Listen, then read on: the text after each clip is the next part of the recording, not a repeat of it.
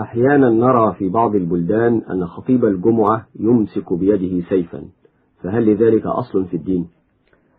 جاء في زاد المعاد لابن القيم أن النبي صلى الله عليه وسلم في خطبة الجمعة لم يكن يأخذ بيده سيفا ولا غيره وإنما كان يعتمد على قوس وعصا قبل أن يتخذ المنبر وكان في الحرب يعتمد على قوس وفي الجمعة يعتمد على عصا ولم يحفظ عنه أنه اعتمد على سيف.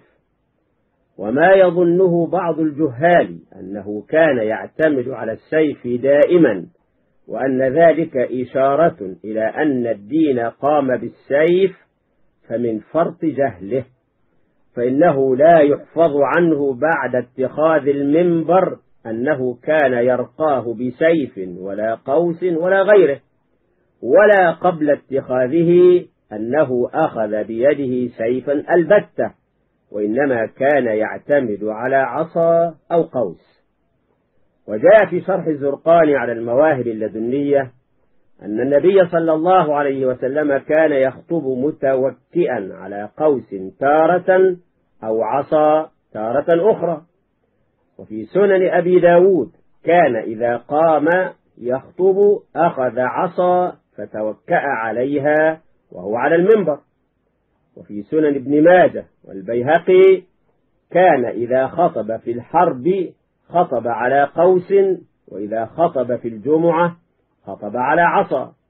وأشار إلى ما ذكره ابن القيم من رفض التعليل بأن الإسلام قام بالسيف.